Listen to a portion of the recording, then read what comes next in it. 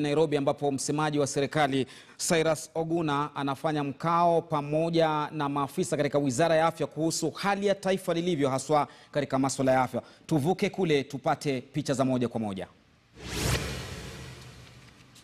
Work tirelessly that Waziri, uh, we have delivered to the multi-agency task what was to be done today. So with those very, very few remarks, allow me now to welcome the Cabinet Secretary Mutahi Kagwe, who is the chair of the multi-agency task force on coronavirus to now address uh, all of us.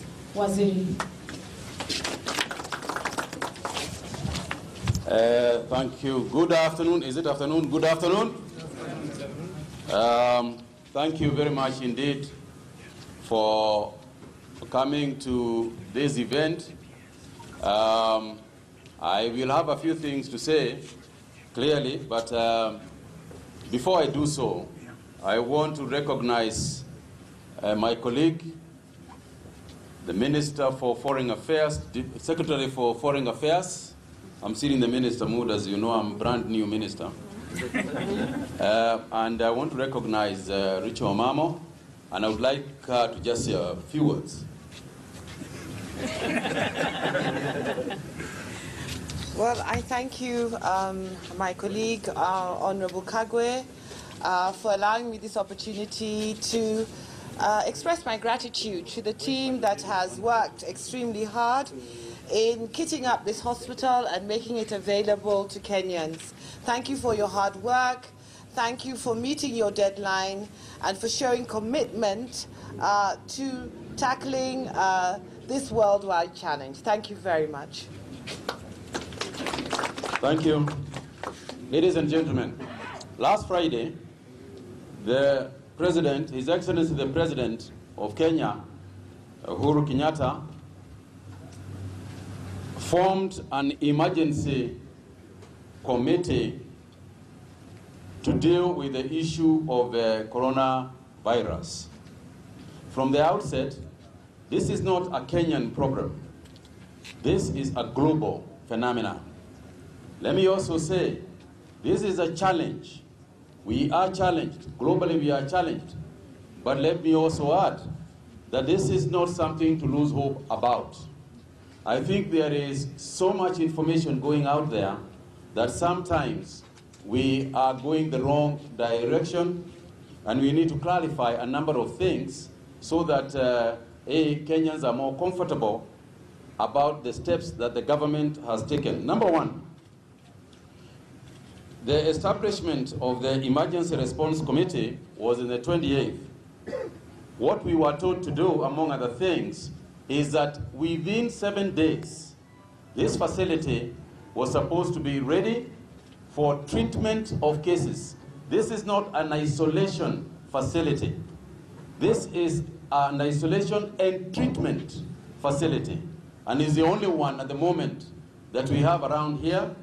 And I want to sincerely, sincerely thank the team that has worked day and night from the National Youth, the Ministry of Energy, the Ministry of Public Works. Everybody has been here. I want to thank our donors, the ones who have been working with us ceaselessly to ensure that um, this facility is ready. We have uh, a national contingency plan to guide uh, us in terms of prioritizing and preparedness. We have an emergency response unit that is going around everywhere. That if there is any information about anything in any part of this country, we are preparing ourselves so that we are able to respond immediately. So we have activated the Emergency Operations Center that is closely monitoring the evolution of the outbreak in China and the rest of the world in order for us to keep tabs with what we should do and to know what other countries are doing and therefore to do the same or even better. Let me also add that at all points of entry, at all points, all points of entry in this country, there is mandatory screening. Now, there are those who may not realize that you are being screened because sometimes we are using thermal scanners So I have heard people say, I passed by the place, and I wasn't screened. You were screened. You didn't. You just didn't know that you were. So uh, let me make it clear. Nobody is going to come into Kenya without screening on our at the airports, at the ports. We are making arrangements even in other areas where people walk into Kenya, let alone fly into Kenya, in Busia, in Namanga, and other uh, centers. In that respect also, we are working with the East African, East African community. This morning, we met with doctors from uh, the five East African countries in my office, uh, and, this, and this is all to work together with other nations. This is not a singular nation activity. We are sensitizing and training throughout. There isn't a single day that we are not training some part of in some, training in some part of this country. We have, we have trained over 1,100 health workers. We have deployed them in Jomo Kenyatta International Airport and other areas.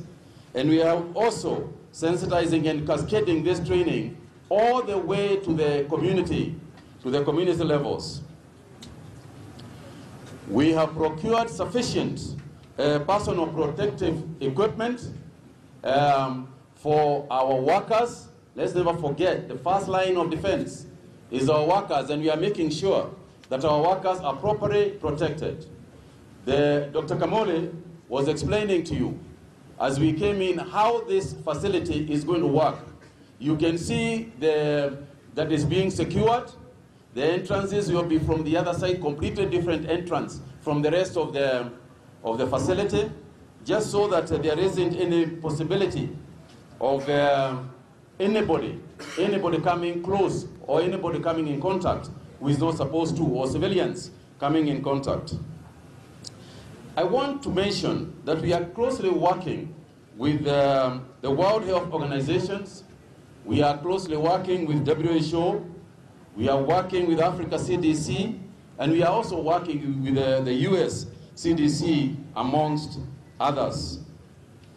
Members of the public are encouraged to remain vigilant as the risk is still high and are advised to continue taking precautionary measures at all times, at all times. Let's maintain basic hand and respiratory hygiene and safe food practices. We launched a free, we'll be sending information to your mobile phones for free under an arrangement we have made with uh, Safaricom. So everybody is, get, is going to be getting information about the disease, what to do, washing your hands, avoid close contact with uh, people showing any sign of this. Let's not panic. Let's not get to the point where you can't even uh, say jumbo to me. We have uh, temporarily lift, lifted the ban uh, so that um, the ban on the flight uh, from Italy, just one flight, to come to Kenya to lift the people who had been locked in when we banned the flights from uh, Verona and the rest of the Verona and um, northern Italy, Milan. But there are people who are locked in in Malindi, about 800 of them. So what we have done is that we have allowed a flight to come in empty, with nobody inside, to come into the airport.